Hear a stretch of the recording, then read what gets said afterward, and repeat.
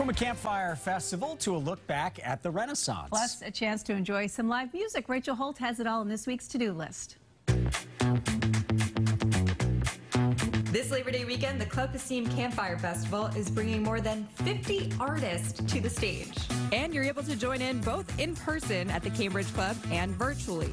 The festival is in its 23rd year and runs from 4:30 to 11 p.m. through Monday. Tickets start at just 5 bucks. Beginning Saturday, King Richard's Faire is back on weekends through the end of October, and throughout the Renaissance Festival, there's plenty to keep you busy on the 80 acre property, including live entertainment provided by acrobats, jugglers, puppeteers, and more. There's also lots of delicious food, rides, games, and shopping. And check out the live music series at the W Lounge featuring musician Louis Bello.